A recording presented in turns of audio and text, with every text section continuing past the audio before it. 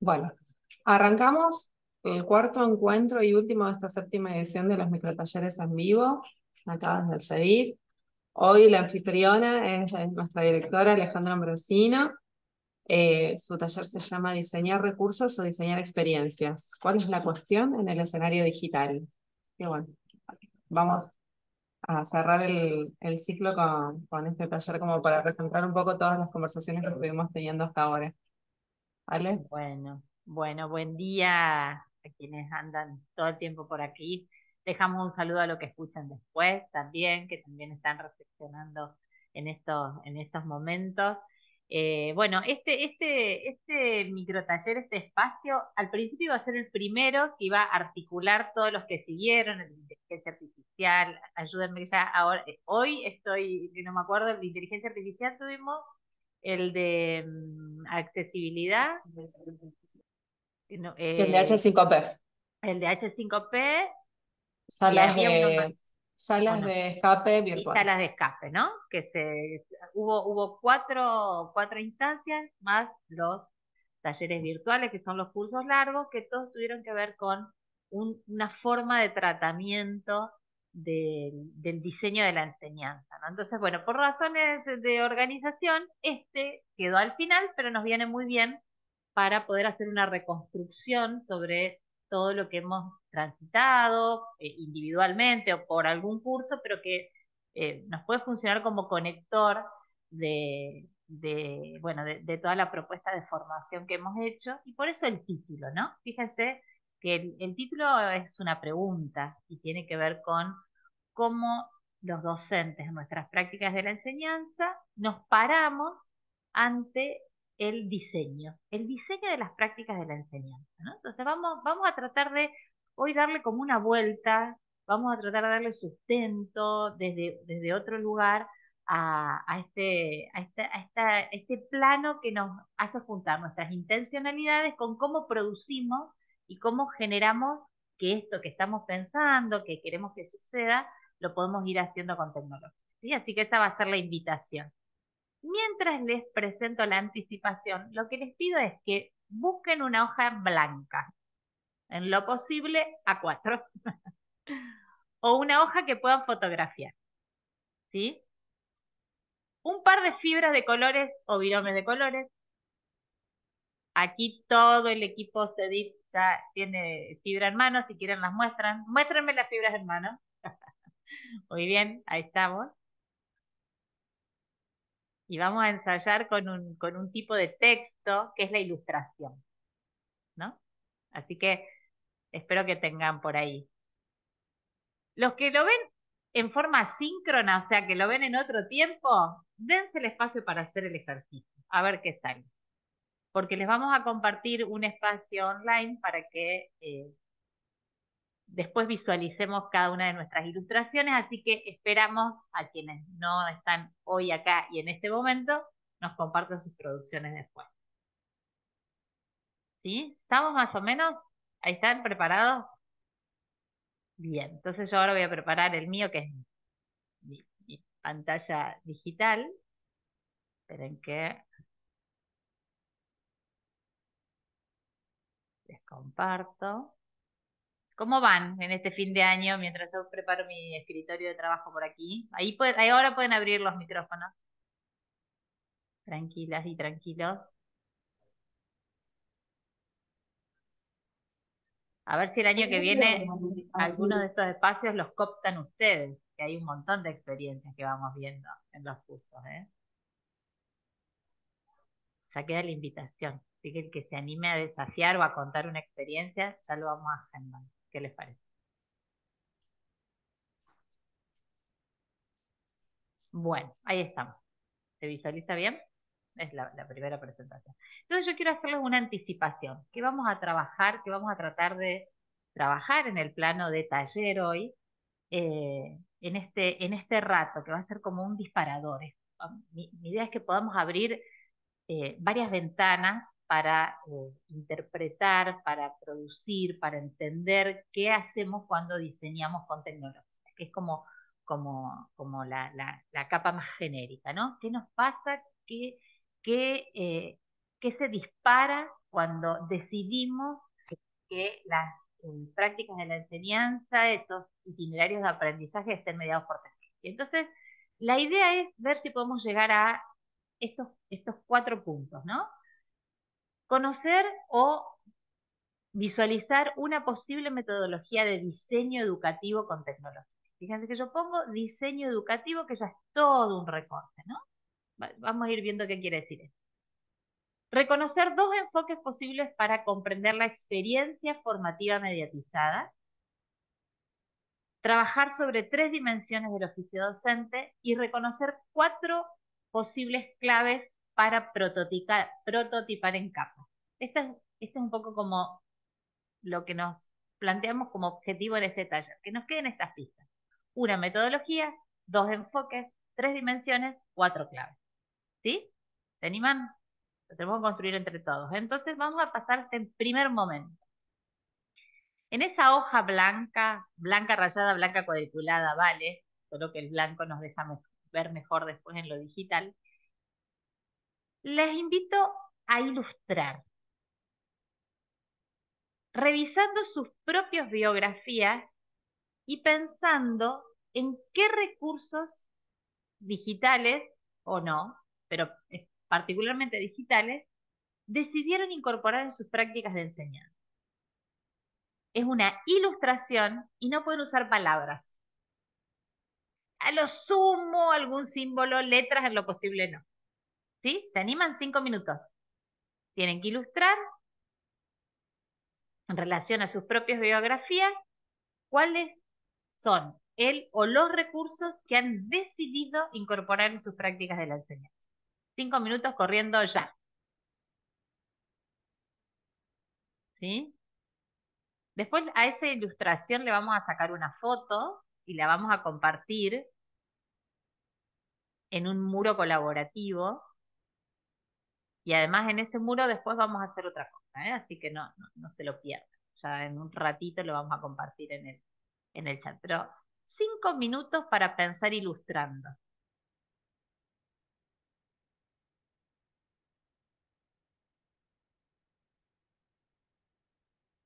Pueden tener abierto el audio, pueden pensar en voz alta.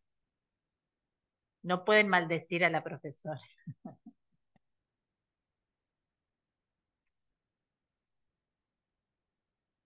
editado luego.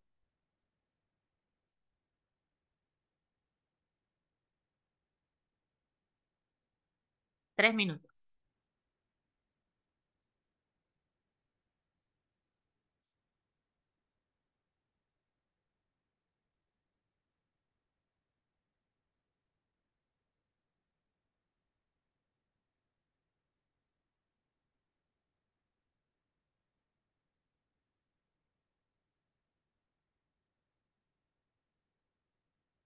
¿Hay alguien que esté en itinerando, entonces no puede dibujar? ¿O están todos más, todos y todas más o menos ubicadas en, en algún espacio?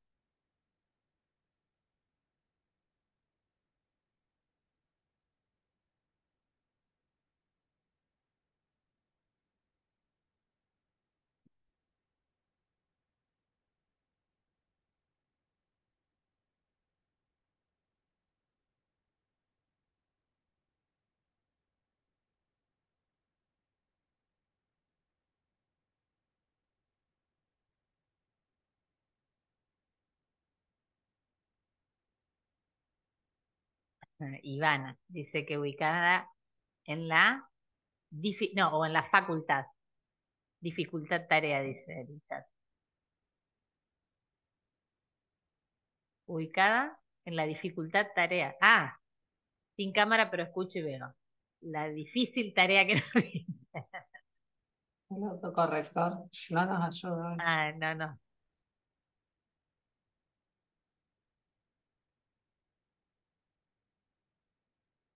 ¿Qué tema, no?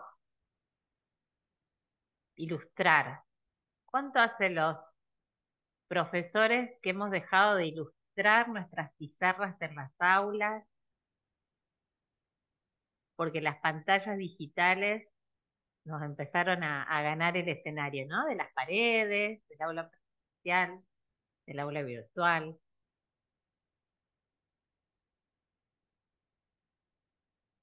Un minuto.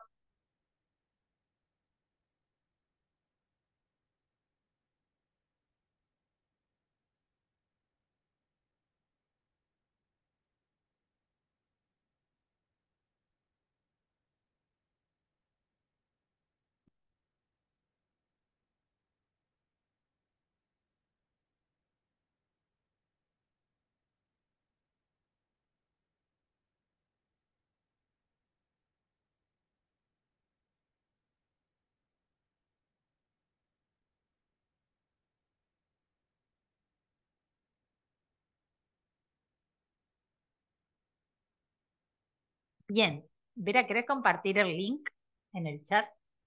Ahora les voy a invitar a otra pequeña cosa. Tienen que sacarle una foto a ese dibujo. Si quieren lo pueden firmar. Y lo vamos a compartir, esa imagen, la vamos a compartir en el Padlet que les compartimos recién en el chat.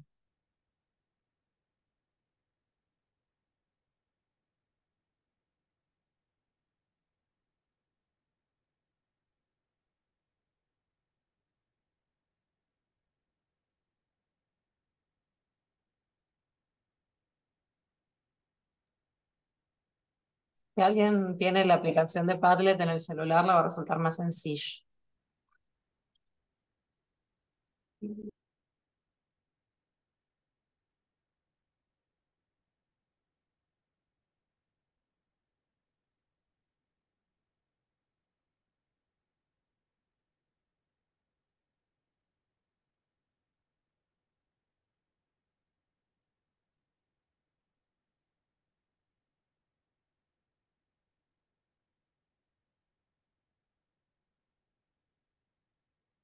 ¿Cómo van? ¿Terminaron?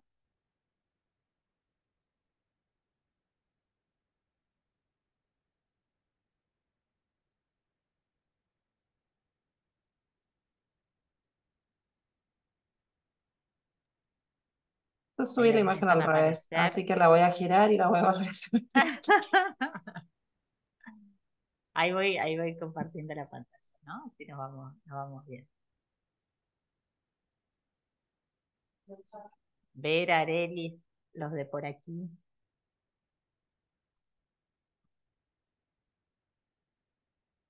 Tienen que entrar, usan, fíjense, yo les voy mostrando en pantalla, tienen el simbolito del más abajo y desde allí empiezan a operar para agregar imágenes. Es una forma de adjuntar de nuevo tipo que nos han dado las, las tecnologías digitales.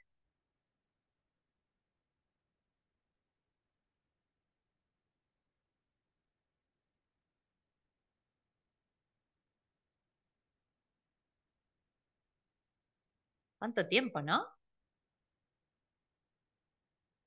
Aunque no les parezca lo que estamos ensayando, es con un ejercicio muy simple que ha sido de ilustración y de lo que Brunner llama externalización, poder ver qué estamos pensando, lo que lleva trabajar cuando hay una consigna que tiene un sentido. Fíjense que ya vamos casi 11 minutos. los que son del campo de la enseñanza de la matemática, de la física, de las exactas, siempre es un ejercicio didáctico que todos nos imponen. ¿Cuánto tiempo lleva resolver un ejercicio? ¿No? Piensen se hacen esas, ¿cuánto tiempo lleva? Bueno, pensar en recursos, tenemos aquí la primera pista, nos lleva a pensar en tiempos, que son tiempos de producción, tiempos de compartir, tiempos de pensar, ¿no? Bien, ahí van apareciendo. Fíjense que hay algunas personas que quedaron como anónimos. Si quieren poner el nombre, aunque sea, lo editan con los tres puntitos que están allí al costado y agregan sus nombres.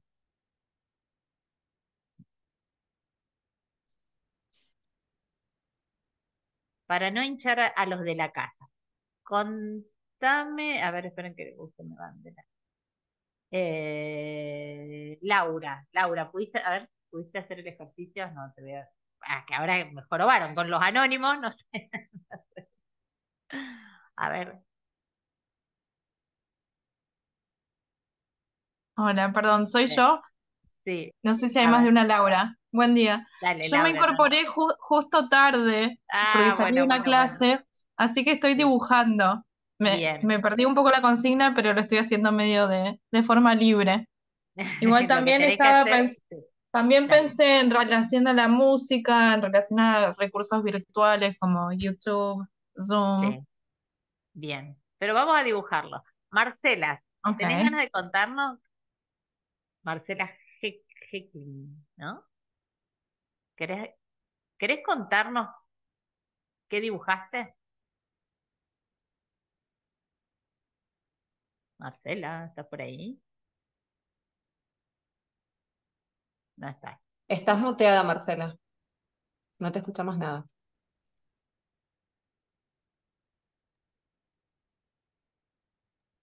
Ahí está. Ahora, no encontraba el micrófono. Perdón. Porque hiciste, contanos Eh, qué sí, graficaste. bueno, yo grafiqué los recursos que usamos en el aula virtual. Usamos el H5P, por eso puse la sigla. Usamos muchos graficadores nuestras clases y en el aula virtual. Calculadora, eh, foros en el aula virtual. Y bueno, eso básicamente. Graficadores, el H5P, el aula virtual y la calculadora. Eso es básicamente lo que utilizamos. Gracias, Marcela. ¿Alguien que se ha denominado I- IQ, qué será? ¿Ignacio? ¿Algún Ignacio o, o no? ¿IQ quién es? Ivana Corati. Ivana. soy yo, soy yo. Ahí, dame un segundo. Contanos qué hiciste. Bueno, nosotros trabajamos con esto, digamos, en, en el aula. La, es- esta actividad la trabajamos como prognosis proyectual, pensar la idea, digamos, de un problema de arquitectura y, bueno, trabajarlo desde distintos conceptos y un poco fue eso lo que quise contar. Ajá, conceptos. Entonces dibujaste vos. Marcela nos presentó conceptos a partir de, de una idea, ¿eh? Bien, espera, espera que se me, que me estoy olvidando de tomar nota yo. Quiero ver, ay, es que cuando van agregando se me mueven. Esperen que recién había visto uno, el de Alejandro Becaría. Becaria, Becaria, Becaria, perdón, no sé cómo es. Hola Alejandra, Hola, ¿cómo- buen día. hola, tocayo, Eh, yo lo pronuncio becaría, pero lo escribo sin acento, ¿viste? Así somos. Este, bueno, yo no sé, eh, me contactabas porque querías que te explique un poco lo que hice, ¿Qué es lo que ¿no? dibujaste? ¿Qué dibujé? Bueno, no hay peor cosa que este, incitarlo a un viejo a que sea autorreferencial, ¿viste? Entonces yo tomé esta idea tuya de, de- de la biografía y no sé si te interpreté bien, pero eh, un poco lo que, lo que represento ahí es una herramienta de trabajo muy típica en biotecnología, que es en la carrera donde yo me desempeño como docente, acá en la Facultad de Bioquímica, y que también sirvió esa herramienta para, bueno, para formarme un poco en toda esta disciplina, ¿no? Eh, entonces, bueno, este, este, hice esa representación con, eh, que es algo común que le, le mostramos a los chicos, a los estudiantes, donde se interpretan distintos fenómenos y procesos este, microbiológicos fundamentalmente. Es un bioreactor, un Es un fermentador. bioreactor. Exactamente, eso quería. ¿Por qué, qué escribiste arriba? ¿Qué dice arriba? No, arriba es, en- es la, la- la consigna, para no Ah, olvidármela y bien, para que me quede el, archivo guardado. Este, si no, también Para que este, te los quede el tenemos mala memoria, exactamente. Los más experimentados, Alejandro. Sí, Yo, también. más experimentada. Lucio, ¿querés compartir lo que dibujaste? Hola, ¿qué tal? Buen día. Hola. En, ¿Cómo en nuestro caso, yo soy docente de, de química, también en la Facultad de Bioquímica, igual que el Ale, eh, en primer año. Nosotros lo que más usamos eh, son el, empezamos a tratar de incorporar, yo hice varios talleres ya con, con ustedes, el uso de las herramientas H5P para poder intervenir eh, los videos de las teorías que están dentro de YouTube, también por eso puse la referencia eh, algunas guías de trabajo para trabajarlas también eh, mediante los, los diferentes recursos que ofrece H5P y trabajamos mucho en el laboratorio con el celular el, este, para eh, ir y venir entre las experiencias del laboratorio y podernos sumar con, con algunos videos, guías o demás para, para trabajar dentro del propio laboratorio. Bien. Este, eso sería más o menos lo que nosotros hoy estamos trabajando. Arelis y Soledad cuentan que las dos pusieron eh, música y claves de sol dando vuelta. Creo que estoy, mirando si no me estoy perdiendo algo más.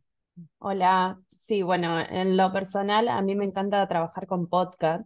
Eh, yo soy profe de lengua y, literatura eh, y siempre que abordo algún texto literario me gusta acompañarlo con música y sonidos, sobre todo para fortalecer la identidad de ese texto, las voces de otros autores también. Así que bueno, es un recurso que uso mucho. Muy bien. O sea que eso que está en el costadito son como libritos o qué son? Eh, sonidos. Ah, sonidos. Ah, bueno, pasa que en mi, en, mi, lenguaje los códigos están. Soledad, que también pusiste una clave de sol. Sí, porque he, incursionado por el tema eh, respecto a, la introducción de la música como disparador para el trabajo de algunos contenidos y, eh, y además para trabajar experiencias, eh, particularmente en, en física, una nueva incursión que estoy haciendo ahora es el espectro electromagnético musical. ¿Está bien? Entonces, eh, el espectro electromagnético musical tiene que ver, por ejemplo, con la, trabajar las, las, longitudes de onda, pero musicalmente. Entonces, debemos buscar canciones que trabajen sobre esa situación. Es lo último que he hecho. Eh, y bueno, aparecen cosas interesantes, porque viste que la longitud de onda de los 5700 Armstrong, puede ser Yellow Submarine. Después, eh, por ejemplo, eh, verde puede ser color, el verde esperanza, la pollera amarilla, y aparecen un montón de colores, violeta, ¿está bien? Y entonces aparecen un montón de canciones. Y bueno, la última incursión que hice fue sobre trabajar contenidos musicales para trabajar conceptos de, física. Y, en termodinámica también tengo algunas experiencias interesantes, además del desarrollo de la introducción de algunos contenidos eh, en la evolución histórica de los conceptos, por ejemplo, con eh, algunas, algunas canciones que tienen que ver eh, para iniciar la discusión. Así que bueno, por ahí, por eso es que te puse YouTube. Por ahí viene. y quiero tomar dos casos uno, para que los compartan desde, la oralidad. El de Anita y el de Romina. Anita, que presenta un merengue, y Romina, vayan tratando, de, ustedes van viendo la pantalla, y Romina, que presenta alguna cierta linealidad. Cuéntenme las dos, porque las dos llegan a algo así como, wow, maravilloso. ¿Premio? ¿Y lo otro es una idea o qué, Romina, en el tuyo? No, eh, ¿se me escuchan? ¿A mí se me escucha? Ah. Va Romina primero, después Anita. Ahí está. Ah, bueno. Eh, sí, en realidad eh, lo que quise un poco graficar es cómo, por lo menos desde mi experiencia docente y de gestión, cómo muchas veces el soporte definió la propuesta, ¿sí?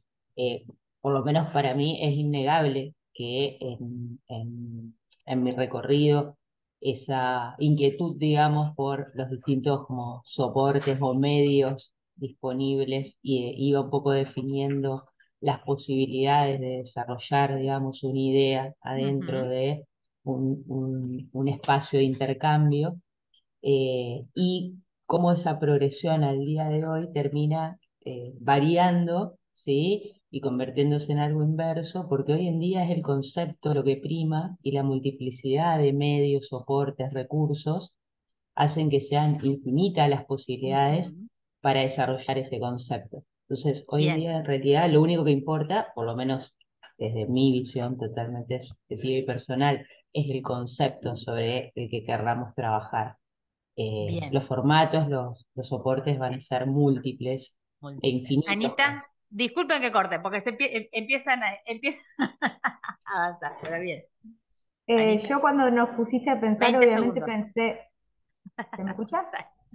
Pensé en, bueno, en la materia presencial, incluyendo todas las herramientas también que tenemos a partir del uso de, de las, de las aulas virtuales. Y cuando me quise poner a pensar en todo lo que uno usaba y todo el entramado que hay en la pluralidad, eh, bueno, puse la, copita esta porque hay que pensar, o sea, si bien uno en el devenir de los días usa un montón de cosas y va mechando e intercalando, no hay que perder el objetivo y, y por eso puse la copa, pero en, el resultado final y, y demás de que por eso era la, copita, no sé qué habrá Por eso era la copa por ahí. De no perder de vista el objetivo, obviamente. Fíjense que en esa, en esa matriz que hemos podido ilustrar colaborativamente, ¿no? Esto, esto que, hemos logrado en esta imagen que queda de fondo, que queda como representación de, de lo que están pensando cada uno y cada a ustedes en relación a los recursos, nos abrió eh, entender que cuando uno habla de recursos para, para la enseñanza, fíjense, lo que nos está mostrando este muro son las múltiples representaciones que tenemos sobre la idea de recursos. Muchos de ustedes han traído recursos que están asociados a sus disciplinas de enseñanza. En el campo de las disciplinas proyectuales, en el campo de, esperen que ya me olvidé, termodinámica era Alejandro, ya, me olvidé qué es lo que estaba enseñando. Dale, dale, abrí tranquilo. Biotecnología. Biotecnología nos trae, eh, tomé el caso de Soledad y Arelis, porque las dos asociaron la idea de recurso a la musicalidad, a las armonías, Arelis desde un enriquecimiento de la propuesta de enseñanza, planteando textos alternativos, Soledad como también trabajándola desde las disciplinas. Entonces, fíjense que hay una asociación muy fuerte cuando nosotros pensamos, estoy haciendo una, una focalización, la enseñanza, tanto en términos de las disciplinas que aparecieron, fíjense los dibujos de cada uno, como el enriquecimiento de la enseñanza, y hay una tercera pata que aparece también en, todas las que empiezan mostrando el artefacto como dibujo, ¿sí? que tienen que ver con las mediaciones de la comunicación didáctica. ¿sí? Fíjense que si uno ahora mira los aparatos que figuran en esos dibujos, no los sentidos, ¿sí? Los aparatos que aparecen en esos dibujos son múltiples. Son múltiples las tecnologías que aparecen y son múltiples las representaciones que nos permiten esas tecnologías, ¿no? Entonces ahí hay una primera pista. El escenario digital, y por eso en la invitación que hicimos a este taller dijimos, pensemos qué quiere decir diseñar para la enseñanza, ese es nuestro foco, en el espacio digital, que es aquel que nos reúne en carreras a distancia, carreras presenciales, en espacios de educación remota, en cualquier tipo de mediación de esa comunicación didáctica. Entonces, lo que vamos a apuntar es a tratar de construir una metodología de cómo, bueno, cómo podemos pensar esos diseños de la enseñanza, que fíjense, ya nos están apareciendo dos campos que se reúnen, el didáctico, perdón, tres, el didáctico, el disciplinar y el comunicacional. El comunicacional es, la dimensión, y voy a ir, eh, tratando de como poner en, encuadre eh, en relación al diseño, la comunicación y plantados en pensar las tecnologías como mediación tecnológica, es decir, lo que nos sucede mediante ellas, nos permite pensar en el diseño ya no solo como cómo diseño el recurso, cómo me paro ante la tecnología, cómo eh, elaboro una interfaz, sino en pensar qué experiencia se provoca mediante esa tecnología.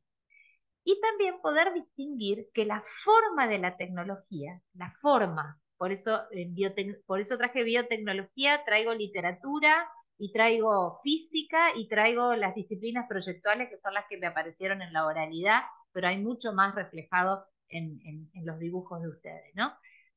Si yo ubico en el diseño la forma, pero la forma en la potencia que me da ese recurso y lo pienso y empiezo a pensar qué tipo de función me otorga para la enseñanza, es donde estoy generando una línea de apropiación pedagógica de la tecnología, de la mediación tecnológica y de cómo voy a diseñar.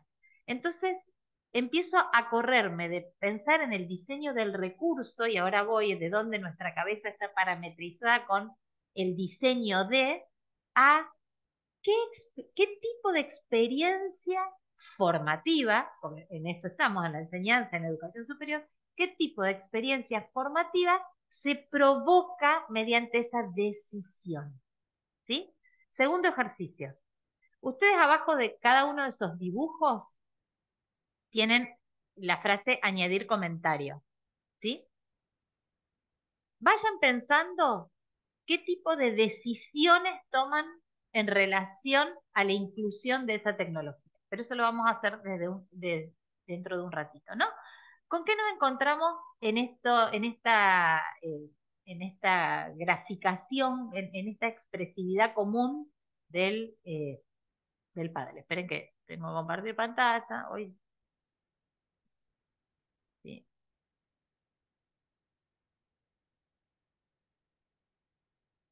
Por ahí. Entonces, ¿qué recuperamos?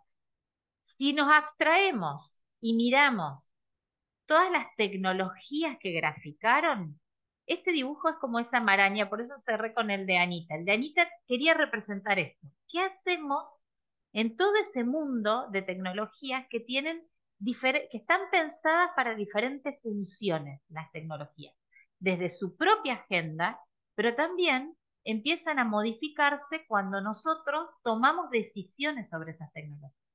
En esa matriz inmensa que aparece de caracterizaciones de las tecnologías, hay unos acrónimos que remiten a las funciones que se le otorgan a la tecnología.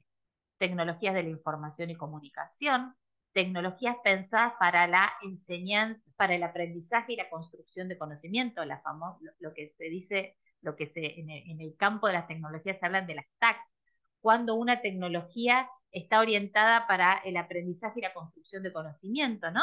Sería la, a ver, lo, pongo en un ejemplo. Moodle, que es la base de todas las aulas virtuales que tenemos en la UNL, es una tecnología conectiva, es una plataforma informática que nos permite trabajar con información y comunicarnos, pero el sentido de la plataforma está fuertemente ligado a generar un ambiente de aprendizaje.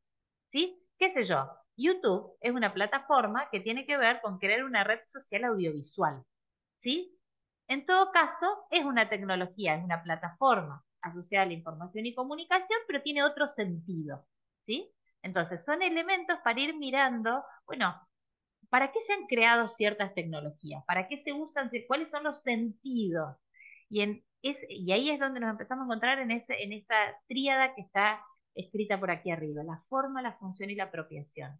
Las tecnologías tienen una forma, tienen una forma de creación, tienen una forma de ser operadas. Me olvidé en el ejercicio anterior de que cada uno repase lo que implicó compartir una infovisualización ilustrada. Algunos estaban en el celular, lo hicieron rápido. Otros estaban están trabajando, están mirando en pantalla, producen en el papel, tienen que fotografiar, tienen que mandarse al mail. Digo, hay todo un proceso de producción que me revela todas las funciones que me dan ciertas tecnologías. Y en el espacio digital se juntan todas. Si cada uno de nosotros hiciésemos un registro que se llama, que se, se llama el registro de lo que hacemos, eso lo estudia la antropología, ¿no?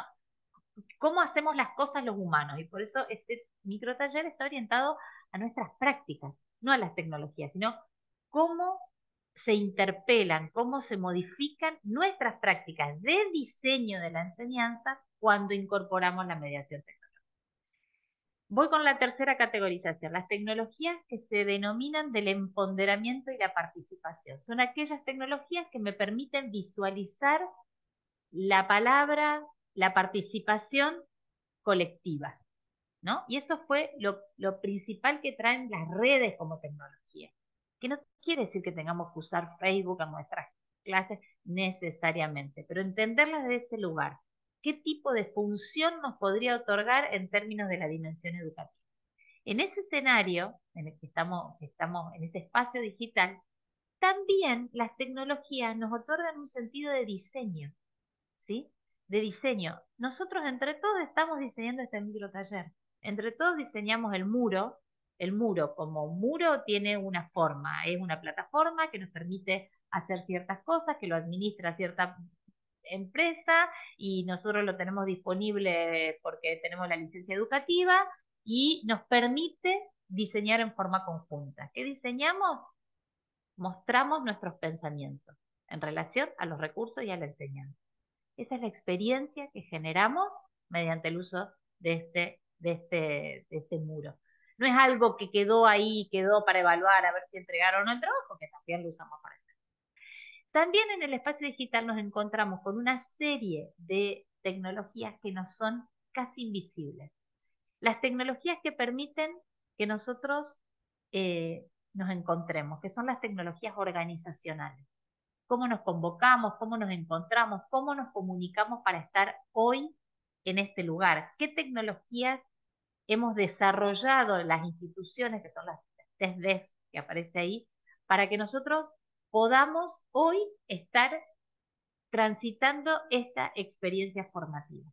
Y hay otro plano que tiene que ver con la, la, cuestión de la infraestructura, que tiene que ver con reconocer que para que el espacio digital se constituya, hay unas tecnologías que yo siempre llamo el plano de las tecnologías duras que hacen posible la experiencia formativa. Digo, toda esta matriz de pensar las tecnologías, tomar un poquito de distancia de cómo armo un buen apunte para que el trabajo práctico se exprese bien y lo tengo guardado en mi computadora y no se lo muestro a nadie porque es mi creación, convive en un escenario de altísima visibilidad. Pero esa visibilidad o no tiene que ver con qué tipo de diseños establecemos para la enseñanza. Entonces, la invitación es a mirar la tecnología desde esta, eh, desde esta triple entrada. Por un lado, comprender la tecnología en sí misma, ¿sí? Comprender si estoy usando una aplicación de Internet, si estoy usando una tecnología eh, que se encuentra en un laboratorio, para, para, qué la estoy trabajando, qué tipo de función le puedo, qué tipo de función me da como tecnología pero ¿qué puedo hacer con ella? Que es el plano de la apropiación, ¿no? ¿Cómo miro? Si miro inteligencia artificial, bueno, la inteligencia artificial, ¿cómo se manifiesta? ¿Cuál es su forma? ¿No? La inteligencia artificial es todo lo mismo, la inteligencia artificial generativa es todo lo mismo. ¿Me generan las mismas prácticas? ¿Cuáles son las funciones intrínsecas de la tecnología, pero cómo me apropio en términos de el marco tecnopedagógico que estoy decidiendo. Esta invitación a metodología, que es una metodología casi para pensar y diseñar después, la puedo, la puedo cruzar desde el aparato celular hasta el aparato videoconferencia. Una videoconferencia, fíjense nosotros hoy lo, hoy lo que está pasando. En este momento estamos viviendo una experiencia síncrona, formativa, de capacitación, ¿no? Esta videoconferencia nos permite compartir pantalla, nos permite vernos a todos, algunos pueden hablar, están contando que están, eh, están desde la escucha, pero no desde la imagen, otros que sí pueden mirar, pero no pueden hablar. Hay cierta configuración de la interacción que se da por las funciones que nos da la tecnología, pero fundamentalmente por cómo decidimos usarla.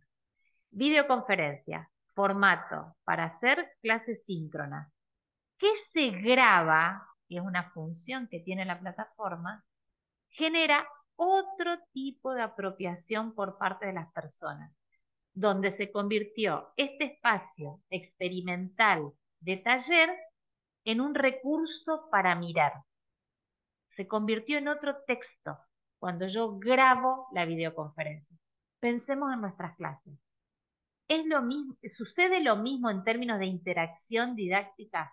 Si yo estoy generando un espacio interactivo provocado, diseñado, donde genero cosas, que un estudiante que se convierte en espectador de algo que sucedió, tengamos cuidado con eso. Fíjense que estoy hablando de, una, de un instrumento, de un artefacto, de una tecnología que hoy está prácticamente naturalizada, sobre todo en educación superior. Yo soy muy cuidadosa con pensar la videoconferencia o el espacio síncrono en términos de educación superior. En otros niveles hay que volver a mirar qué está pasando, ¿no? Entonces volvemos a pensar, pucha, a ver, esto queda grabado. Bueno, pero yo soy profesora y me salen algunas expresiones que no son de lo más académicas, el pucha queda más o menos ahí, pero no importa. Entonces, cuando yo decido trabajar, bueno, listo, esta clase la doy, esta clase la doy usando videoconferencia, ¿qué implica esa decisión en términos de la experiencia formativa que estoy provocando? ¿Cómo acompaño esa videoconferencia cuando después la grabo y la interacción pasa al plano asíncrono. ¿Qué va pasando? Porque el proceso sobre el que yo estoy diseñando esa experiencia formativa es de aprendizaje, no es de consumo de contenidos. esa es, es una pista para pensar esos escenarios. En esa maraña de tecnologías posibles, en el escritorio de los, de los actores, de los, de cada uno de, nosotras, de nosotros, cuando estamos diseñando, podríamos pensar que al menos en su forma, en su forma, se organizan de esta manera. ¿Las pueden reconocer? Yo misma levanté la mano, o alguien levantó la mano y me quedó pegada a mí. de una invasión de manos. ¿Alguien quiere compartir algo mientras yo bajo la, la mano? Levantaste la mano. Sí, sí. ¿Alguien quiere compartir? ¿Alguien quiere reflexionar? ven esta situación o no, o mira vos, o nunca la había pensado, o la tengo que volver a mirar. No. Tiene mucho que ver con nuestra escuela de la didáctica, si se quiere, clásica. Pensar las tecnologías como la herramienta que apoya lo que yo estoy haciendo. ¿Sí? Entonces es como que la herramienta está ahí y genero alguna cosita, algún material didáctico, algún apunte. Hoy las tecnologías digitales nos empiezan a interpelar desde la idea ecosistémica, desde la idea de ambiente, ¿no? Hoy la experiencia formativa sucede en un, en un escenario transmedia, que es la tercera categoría que aparece aquí en esta pantalla, ¿no? Hoy, fíjense, cuando yo digo transmedia, vuelvan al ejercicio anterior. Piensen todas las plataformas que tuvimos que usar para poder publicar nuestras imágenes donde esa plataforma vital, recintual, también es una plataforma transmedia. Tuvieron que ilustrar, dibujar, usar colores, que tuvieron que ver con expresar su pensamiento. Es lo que más tiempo llevó. Después tuvieron que producir, tuvieron que fotografiar con un dispositivo, colgar la imagen, usar otra aplicación, conectarse, usar internet, ¿sí? Hay esas micro capas que van apareciendo, también tienen que ser diseñadas desde el plano de la enseñanza. Tenemos incorporado y naturalizado que la lectura, lectura que es la capacidad, la habilidad clave para cualquiera de los campos de enseñanza que estamos, que estamos atravesando, esa lectura, hoy es transmedial, no es lineal. No, no estudian solo del manual, estudian del manual, del manual dado vuelta, de lo que le contó el otro, de escuchar videos en YouTube, de ir a otra cátedra, de moverse. O sea, hay un escenario que es de nuevo tipo, ¿no? Donde se encuentran todas estas tecnologías en su forma. Plataformas LMS, que son las plataformas de base para eh, eh, generar, por ejemplo, las aulas virtuales, que se encuentran con dispositivos de todo tipo. Dispositivos, cuando digo dispositivos son los dispositivos, el artefacto, más todas las aplicaciones que portan, ¿no? Entonces, para sacar una foto, yo, fíjense que ni pensamos si la persona tiene celular o no. ¿Alguien no tiene celular y sacó con la cámara de la, de la computadora? ¿No? ¿Vieron cómo naturalizamos la disponibilidad de dispositivos? ¿Sí? Entra el aula virtual. Ajá, el estudiante no sabe el usuario, no sabe, la, la, la, Yo hice un hermoso diseño y nadie entra. una perspectiva que tiene que ver con cómo comunico esa enseñanza.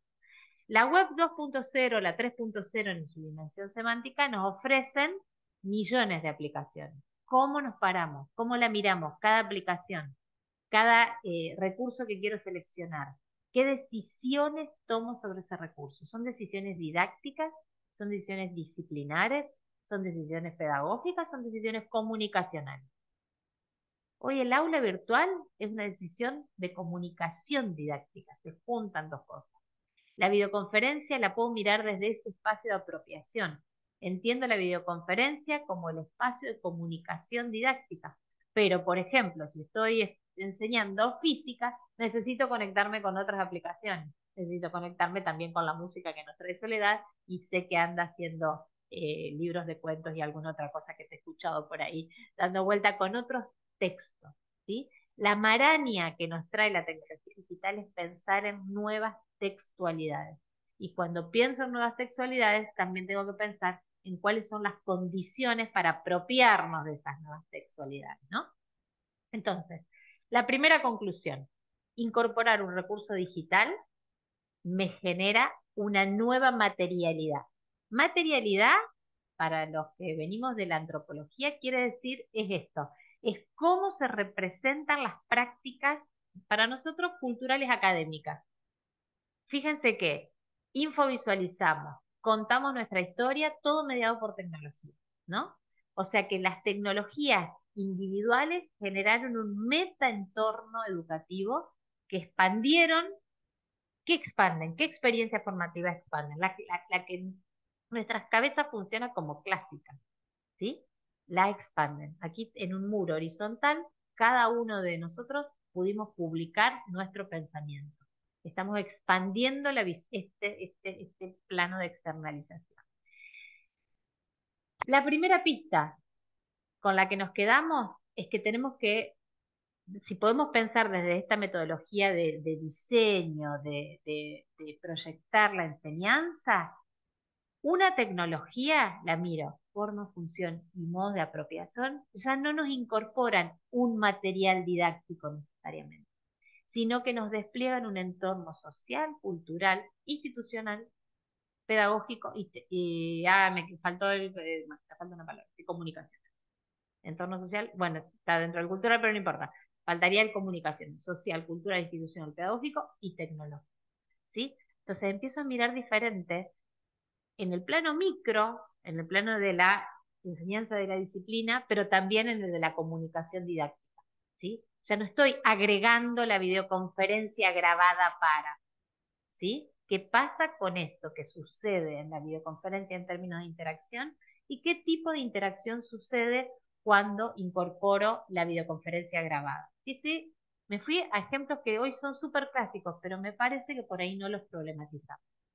¿Les parece o no les parece? ¿Quieren compartir algo antes de pasar al segundo ejercicio? Pues si no, me aburro yo.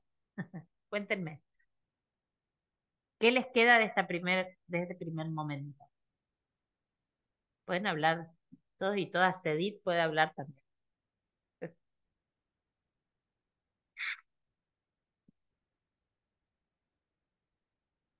Bueno, esperemos que haya quedado para otro momento. No, por ahí lo que, el análisis que vos vas haciendo, ¿no es cierto? Este, quizás muchos lo tenemos como incorporado de una manera inconsciente, ¿no? Eh, a lo mejor no sabemos hacer este, este análisis este, pormenorizado, me refiero un poco también a eso de las capas que vas hablando, y es como que lo trabajamos intuitivamente para, para absorber esas tecnologías, para abordar. Exacto.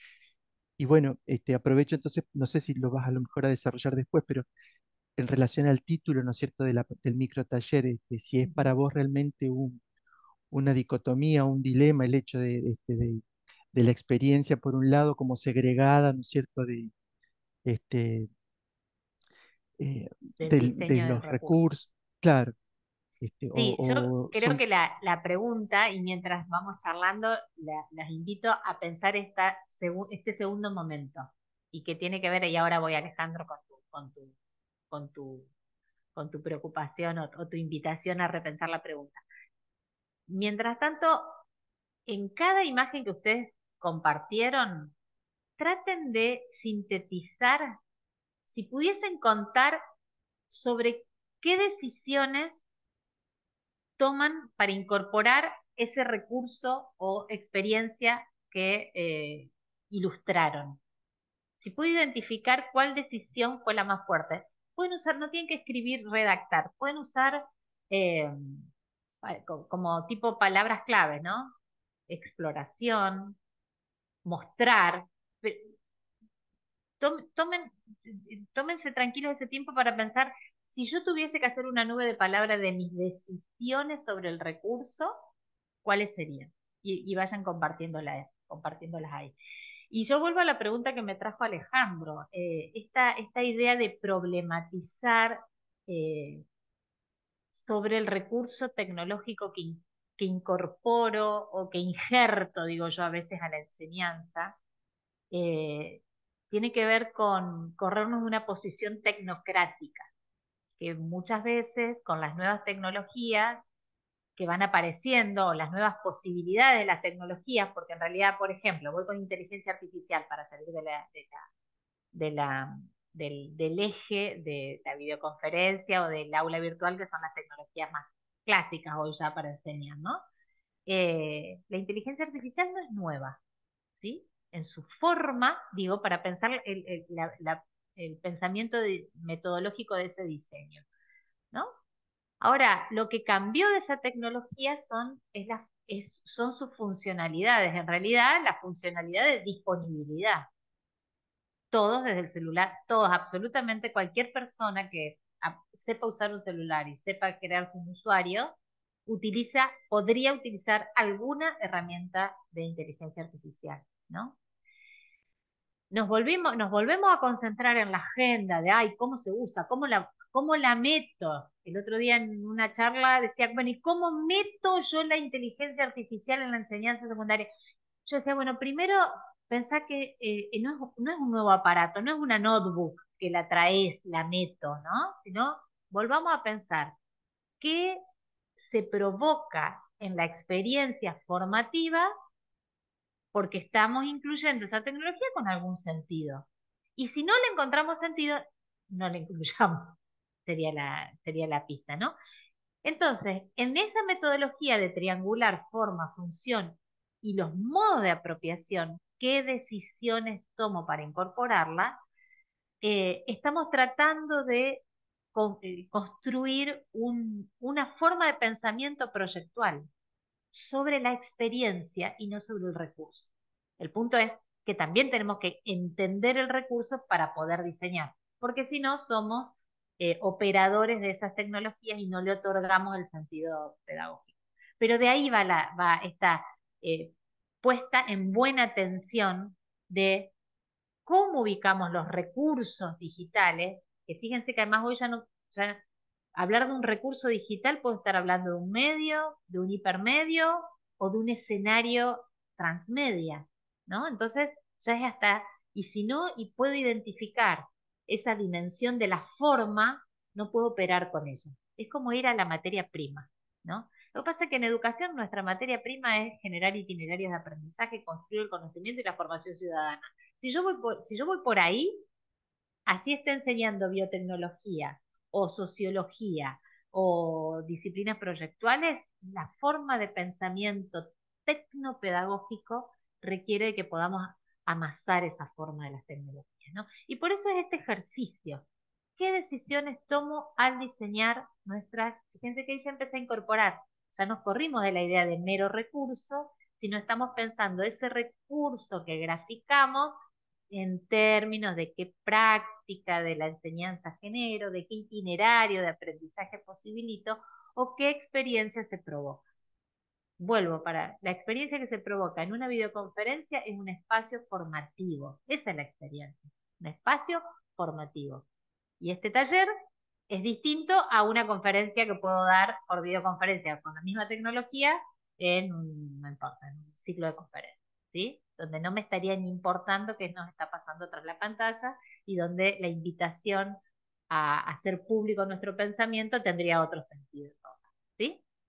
Vuelvo al muro a ver en qué andan. ¿Pudieron encontrar ¿Pudieron etiquetar las decisiones? A ver, esperen que tengo ahora, tengo tantas pantallas ahí. Bien, por ahí aparece. ¿Alguien no pudo etiquetar?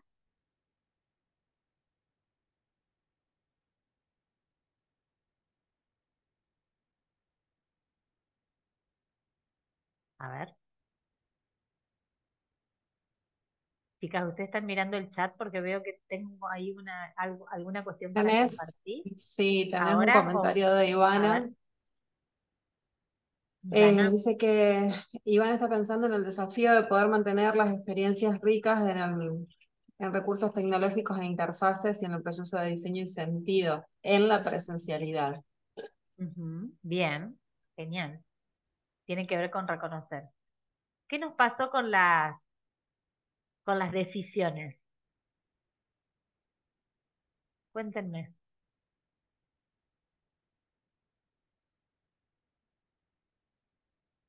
Nos pasó? ¿Fue más fácil o fue más difícil? Pensarlas. Pueden tener los micrófonos abiertos. Sí, un poquito. Más fácil pensarlas. Más fácil pensarlas y escribirlas que graficarlas. ¿Salieron rápido las decisiones? ¿Pudieron identificar rápido las decisiones? Por ahí le Sí, sí, sí. Sí. No sé si será propio de, mi disciplina proyectual, creo que a mí me costó mucho menos dibujar que pensar en poner tres sinónimos, ah. además de que no puedo entrar al paddle desde el celular, no sé por qué, ah, pero, pero bueno, a mí me resultó después, mucho más después entra y compartir lo, que te haya, lo, que te haya parecido, ¿no? Fíjense que cuando uno, una quiere compartir la decisión sobre la que define, sobre la sobre la que tomó eh, la incorporación de ese recurso, aparecen otra vez una diversidad, así como la maraña de tecnologías que vimos, son la maraña de decisiones. Y cuando hablamos de experiencia formativa, lo que nos reúne es la diversidad y la heterogeneidad. Y en eso vamos con romper con el discurso tecnocrático. El discurso tecnocrático nos diría, bueno, total se puede usar el aura híbrida. Sí, total. ¿Total para qué? Total, sí, no me importa lo que está pasando y tengo cinco estudiantes o 700, es lo mismo, ¿no? Hay, hay otro plano que no tiene que ver con la posibilidad tecnológica, sino con el modo de apropiación que eh, se inscribe en ese tipo de decisiones que tomamos. ¿Por qué lo incorporo? De nuevo, las decisiones pueden ser pedagógicas, didácticas, pueden ser disciplinares, por eso muchos de ustedes trajeron eh, recursos que tienen que ver con sus disciplinas, y fundamentalmente terminan siendo comunicacionales didácticas. ¿sí? Ese es un aspecto que está poco trabajado, que es cómo comunico el los saberes y cómo comunico los itinerarios de aprendizaje que estoy promoviendo. ¿no? Donde el otro, la otra persona, también tiene esa posibilidad de, eh, de compartir, de expresarse, de externalizar, diría Brunel. ¿Y por medio de qué lo hacemos? ¿Qué son todas estas imágenes y todas esas palabras que aparecen en, eh, en el Padre?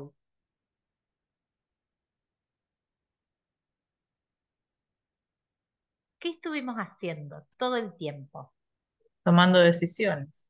Tomando decisiones. ¿Y qué más? ¿Qué compartimos? ¿Qué, es esto? ¿Qué es esta imagen que nos dio el padre, que nos está dando la videoconferencia? Son ideas. ¿Qué, ideas? Experiencias. está estructurando? Un entramado. ¿Un entramado de qué?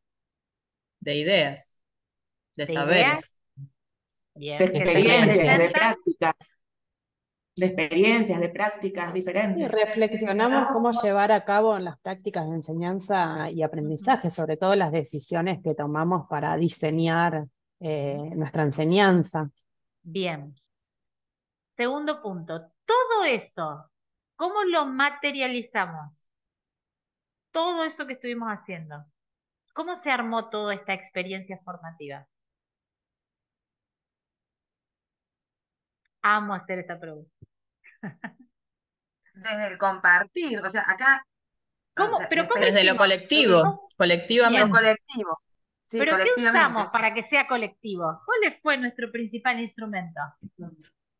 La tecnología. El papel, primero el papel y el También. lápiz.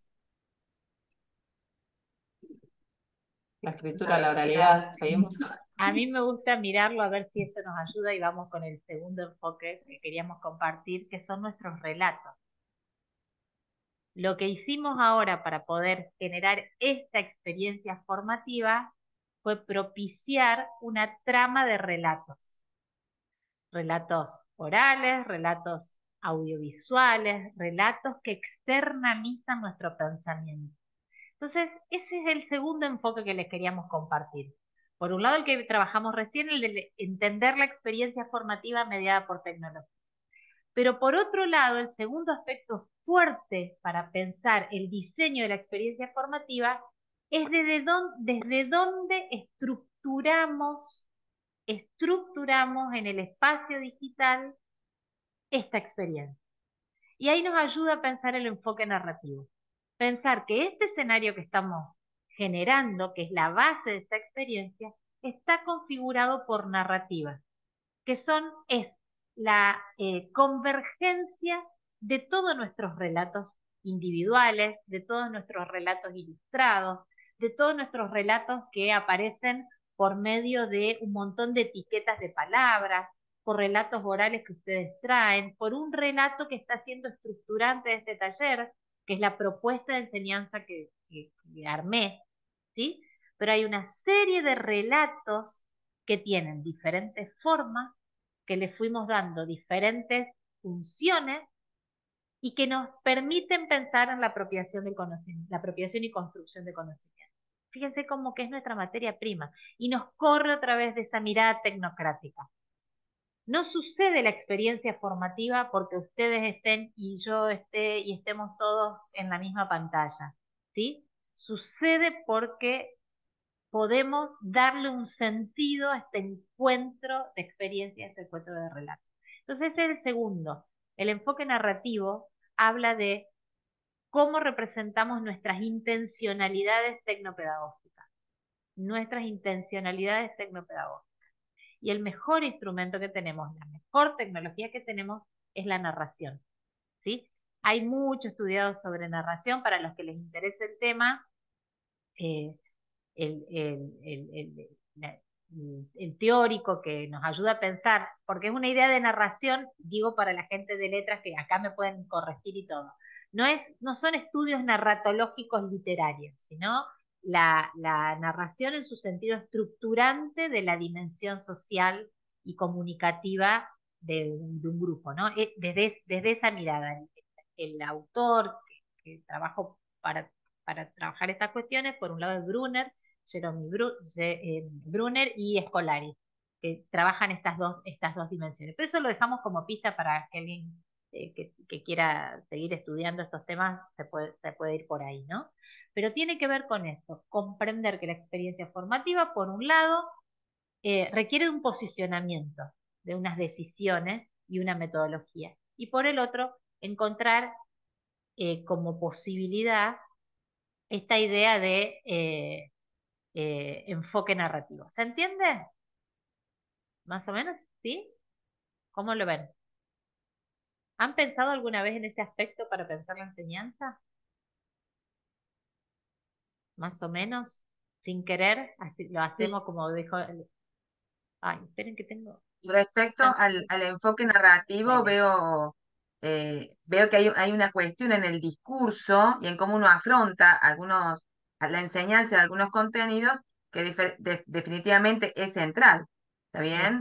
Eh, respecto a esa experiencia que vos estás diciendo, eh, que acá no la traje a, colación porque no corresponde, pero yo tengo una experiencia de física en cuentos cortos. Hago ah, narraciones de cuentos para, con, para introducir eh, un contenido. Y en una narrativa totalmente distinta, como es un cuento, bueno, aparecen otras cuestiones, otras experiencias y otros procesos de pensamiento, ¿no?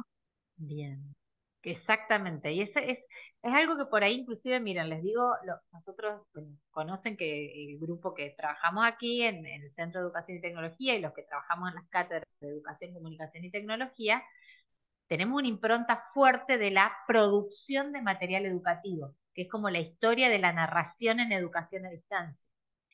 Y en ese plano uno empieza a encontrar que cuando uno empieza a pensar en la experiencia formativa que se provoca, la idea lineal de un objeto es la que se rompe.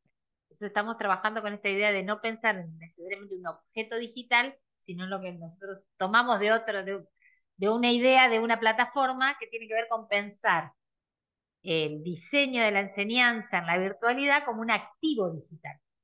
Es algo que va cambiando, algo que se va modificando todo el tiempo. Uno puede tener una intencionalidad, pero se, se transforma con las decisiones sobre la tecnología o la mediación tecnológica y se transforma cuando sucede también la experiencia formativa, ¿no? Toda esta línea que estuve trabajando recién la podríamos sintetizar en esta pantalla, ¿no? Cómo pensar la experiencia formativa nos hace pensar en el contexto de justificación, dónde se sitúa esa experiencia que quiero diseñar, revisitar los criterios, los criterios de la tecnología, todo este ejercicio que estuvimos haciendo, cuáles son los criterios internos, qué condiciones me establece también la tecnología, pero cuáles son los posibles usos, usos en términos de usos genuinos, usos intencionados, usos a partir del diseño puedo hacer de la tecnología, donde la, el otro enfoque que le atravieso es el enfoque narrativo de la comunicación. Es decir, bueno, lo que estructura esta, esta gran narrativa que estoy pensando tiene que ver con las decisiones que voy tomando desde el enfoque, desde este enfoque que es narrativo. Es un enfoque que no es tecnocrático. El tecnocrático me diría, eh, haga lo que H5P le pide o haga lo que la videoconferencia le pide. Hablar a otros sin que me importe si están conectados o no están conectados o sin ninguna actividad en el medio. Por el otro lado, entender que esas decisiones están se inscriben en un contexto de diseño donde hay reglas explícitas y reglas implícitas, que las tenemos que reconocer, esto lo vamos a dejar para otro, para, otro taller porque se, nos está yendo bastante, pero tiene que ver con decir, bueno, cuando uno incorpora una tecnología, lo pongo en un ejemplo como para decir, epa, hay que mirar ciertas cuestiones. Eh, en el proceso de pandemia se instaló que todos los niños, niñas podían usar eh, todas las aplicaciones de Google eh, para la enseñanza y el aprendizaje inscritos por el contexto de pandemia, ¿no?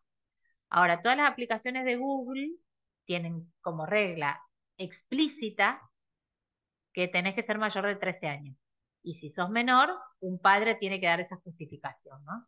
Esto no se miró, una regla de la tecnología explícita, en general en las instituciones, se hizo que los niños mientan en sus edades, usen usuarios, creen identidades no significativas. O sea que hay algo que tuvo que ver con las dimensiones implícitas de la incorporación de esa tecnología que son las que nos tienen que preocupar como educadores.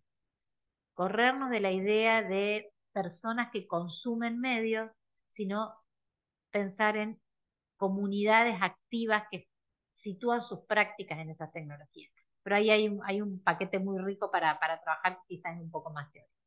Por el otro lado, reconocer dónde y cómo, fíjense dónde pongo el dónde y cómo suceden las experiencias. Y ahí puse aula presencial o virtual es solo la primera pista. ¿Dónde suceden nuestras experiencias y cómo suceden nuestras experiencias también son determinantes de los diseños que hagamos, ¿no? Y por otro lado, poder reconocer en lo que uno podría denominar el contexto de apropiación. El contexto de apropiación es la clase, es el aula virtual para el grupo que me toca dar clase, es la videoconferencia para escenarios combinados, es qué pasa con mi clase cuando yo la cuelgo para 400 estudiantes que la ven desde un YouTube que no está bien trabajado, ¿no? Cómo eh, nos empiezan a aparecer señales, siempre en términos de experiencia formativa, previstas, imprevistas, emergentes o disrupciones. Disrupciones tecnológicas hoy hay miles. Estudiantes que recortan nuestros videos y hacen memes.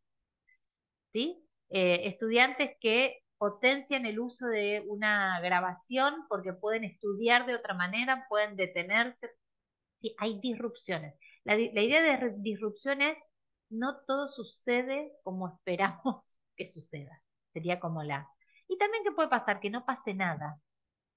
Que yo a mí me gusta pensar en que, que, no, pase nada con alguna configuración que hayamos eh, eh, diseñado, ¿no? Y también está la posibilidad de revisar. ¿Se entiende más o menos cómo es, cómo es esta, esta, esta, unión de los dos enfoques? Pensar la, la dimensión de el diseño de la experiencia formativa atravesado por el enfoque narrativo. O sea, no entender la tecnología solo en su forma, sino en la función narrativa que le puedo otorgar, y ahí es donde estoy traspasando un proceso de apropiación. ¿Sí? ¿Vamos? ¿Estamos? Eh, espérenme un minuto porque se nos fue mucho. Voy a ver si reconfiguro una cuestión. El momento 3 lo vamos a hacer para otro, para otro,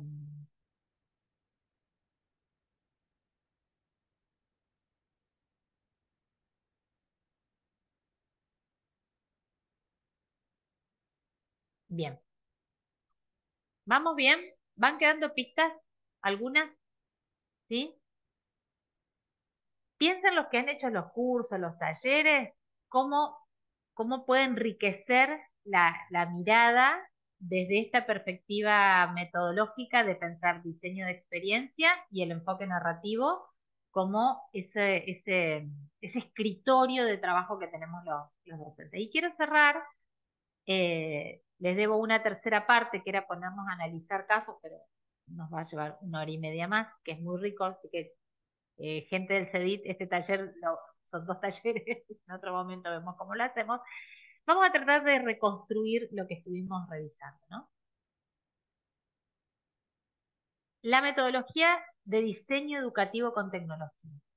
Ya no miramos la tecnología solo en términos de sus prestaciones, sino la miramos desde esta, esta, esta, este, esta, triple, triple entrada, ¿no?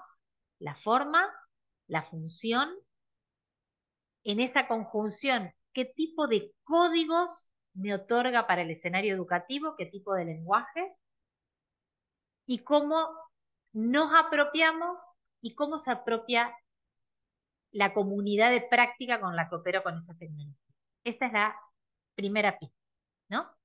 Pensar cuando pensamos el diseño de experiencia formativa desde esta apertura. La tecnología ya no la miro como el, o intento no mirarla como el aparato, sino qué posibilidades nos otorga comprendiendo su forma, sus funciones, su sistema de códigos, ¿sí?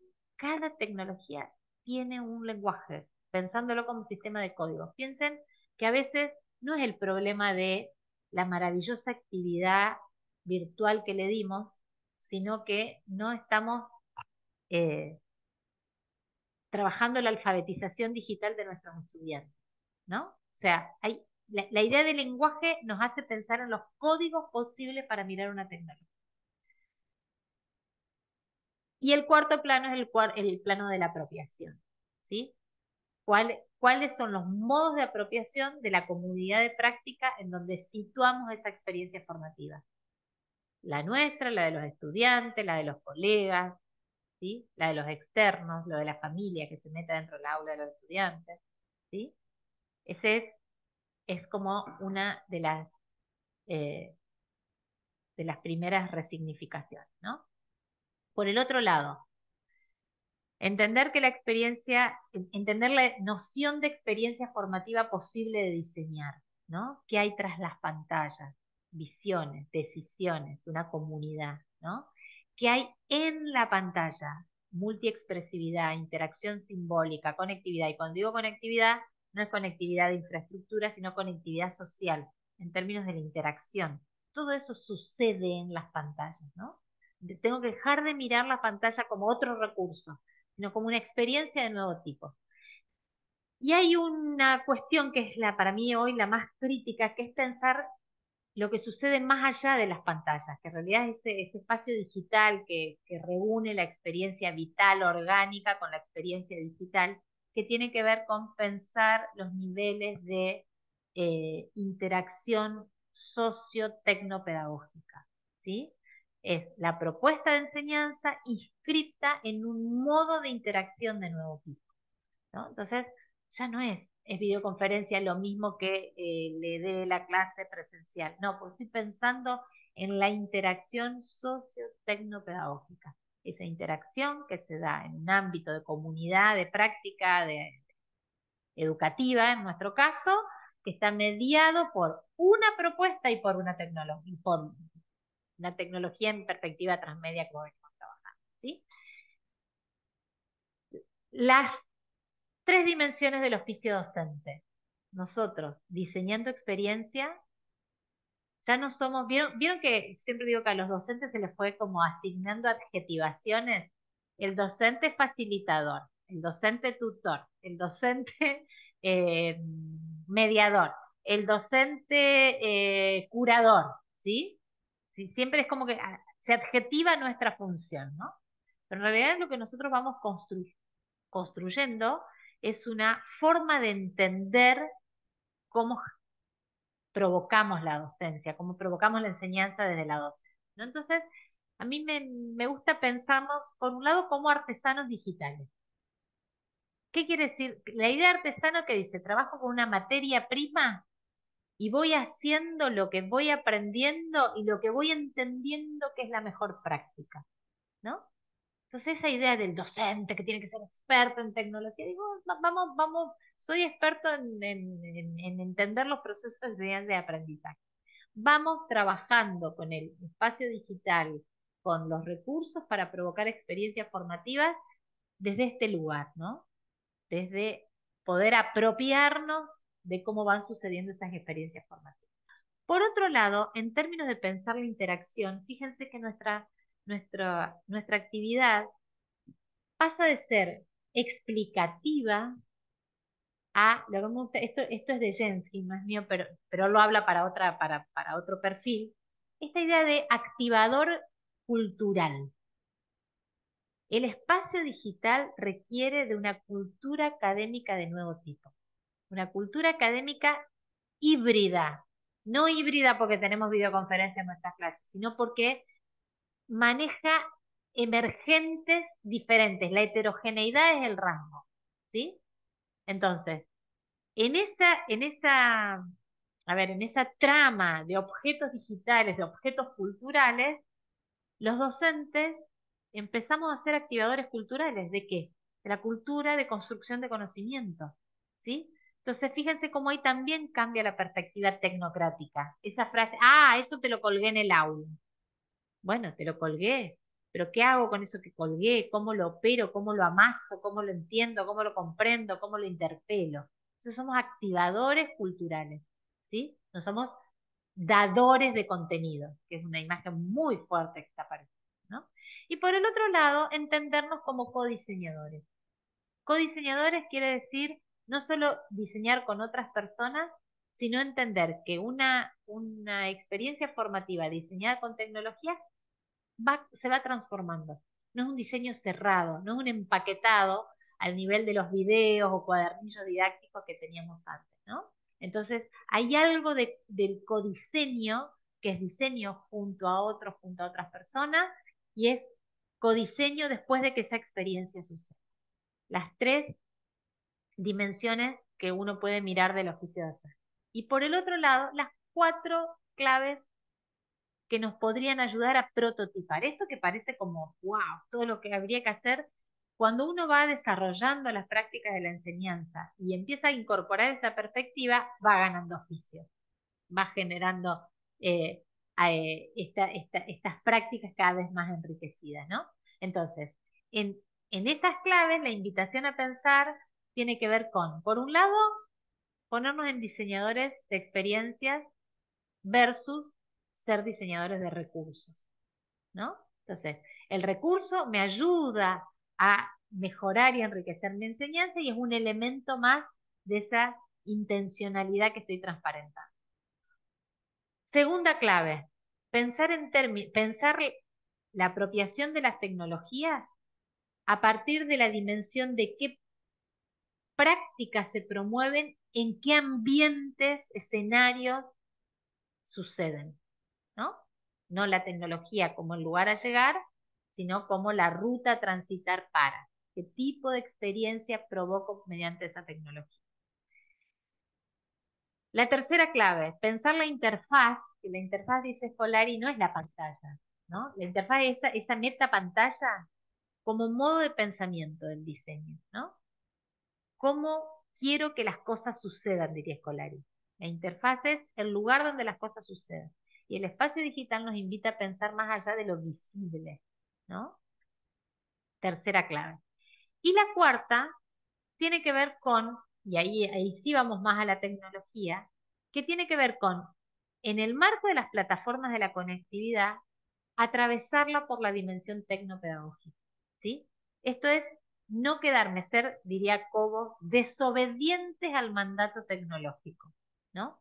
¿Qué quiero hacer con esa tecnología en términos pedagógicos más que obedecer lo que me incorpora esta tecnología? ¿no? Entonces, estas eran las cuatro, las cuatro, los cuatro momentos que queríamos disparar, pudimos hacer dos mediante unida y vuelta con nuestro muro colaborativo y el tercero y el cuarto emergen de ese análisis eh, primero de esa actividad que hicimos, pero intentamos construir entre todos hoy una metodología de diseño, dos enfoques para mirar la experiencia formativa reconocer tres dimensiones del oficio docente y quedarnos con cuatro claves para esto, prototipar en capas, ¿sí? Desmenuzar esa tecnología y ver qué hacemos con eso, ¿sí? ¿Quedó más o menos? ¿Quedó alguna pista?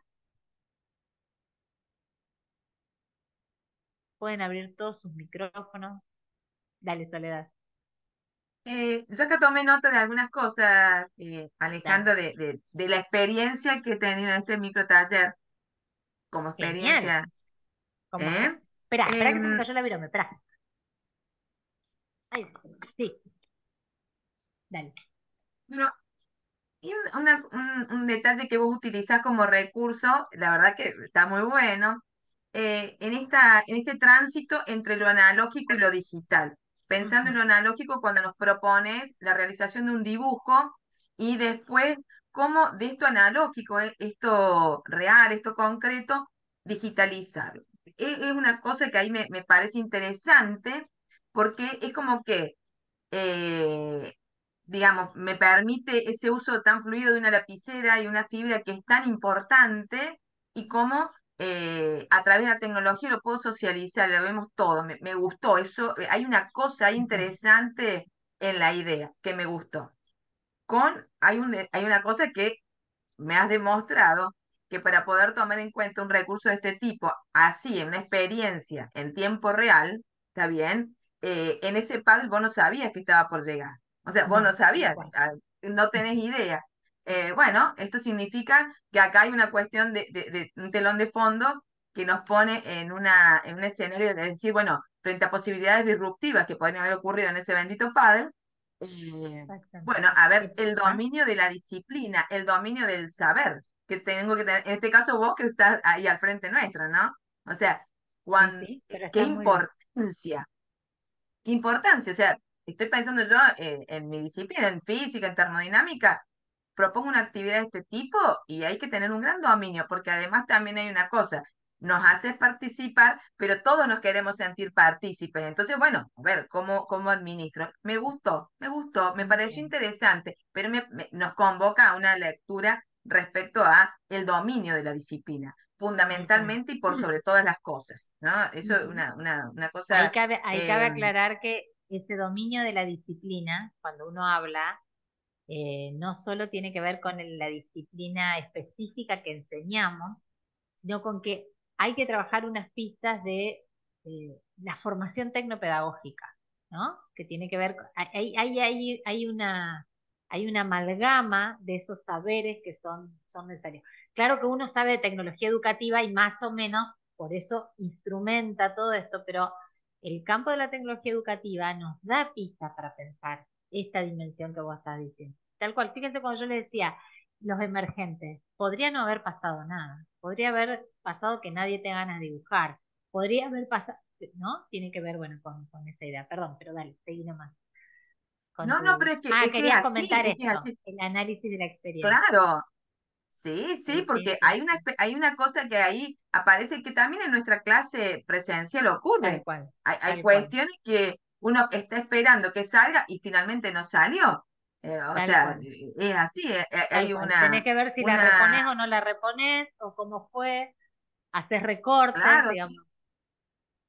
Sí, sí, seguro. Y mm, en esta, en esta cuestión también trascendente del dominio de lo tecnológico, porque necesariamente para poder transitar una buena experiencia hace falta eh, algunas cuestiones del dominio de la tecnología fundamental para que La no forma, quede en un intento, porque si no, eh, realmente es como que hasta puede uno sentirse como desanimado frente a no poder concretar esto que estábamos proponiendo. Entonces, Exacto. hay algunas pistas que eh, me resultan interesantes y que, bueno, que me dejaste muchos mensajes como para, para poder trabajar de Bueno, genial, Soledad. Ahí hay una cosa nomás que hay una experticia sobre las tecnologías que realmente se construye en comunidad.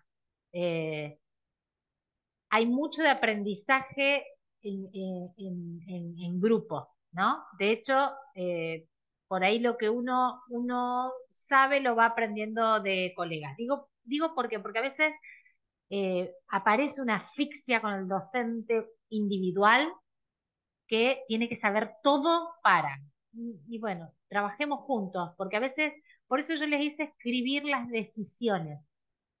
Lo clave del docente tiene que ver con las decisiones. Cuando uno puede expresar esa decisión, la puede compartir con otros, con otras, y construir algo que me aporta la pata flaca que puedo tener, que la, o la dimensión tecnológica o la dimensión comunicacional. Y, pero el punto es que eh, el discurso tecnocrático, y cuando yo digo el discurso tecnocrático es hasta cuando entendíamos que nuestros estudiantes tenían que estudiar un solo libro, porque parecía que ahí estaba la verdad, ¿no? Y después nos enojábamos porque no comprendían textos distintos.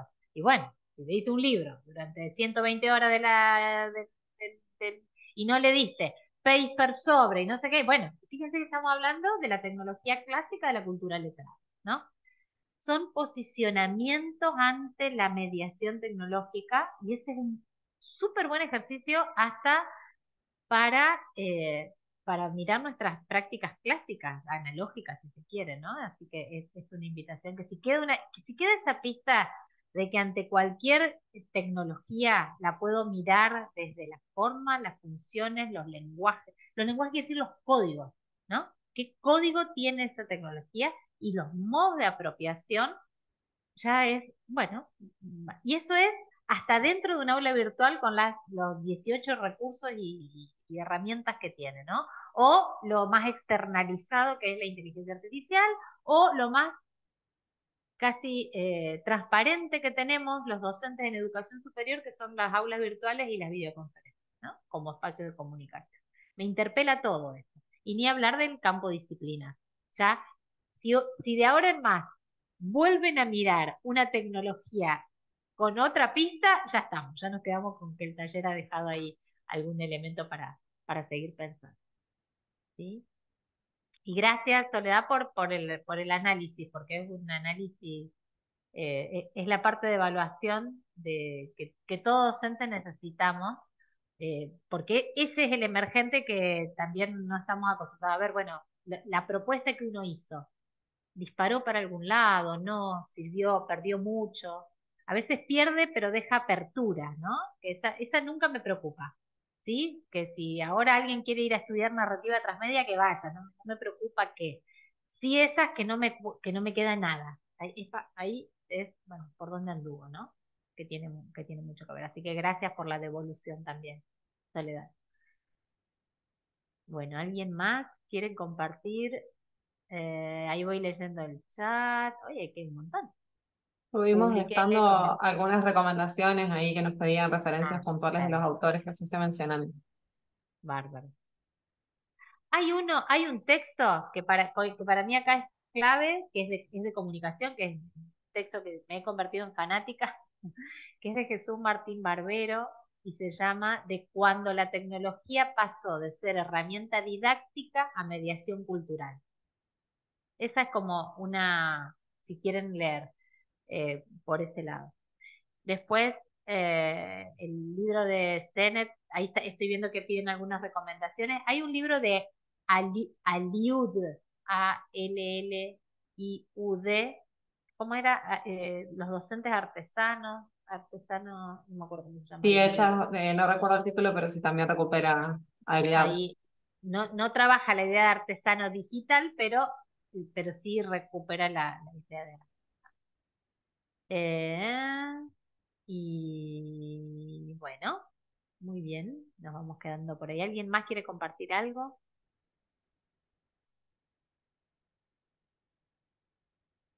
Bueno, bueno, les agradecemos el tiempo, con esto vamos cerrando este, este espacio. Eh, esperamos encontrarnos en otros, esperamos escuchar, vamos a hacer como una, podemos hacer bitácoras de experiencias formativas mediadas por tecnología para el año que viene, así que los vamos anotando para ver que hicieron algún ensayo.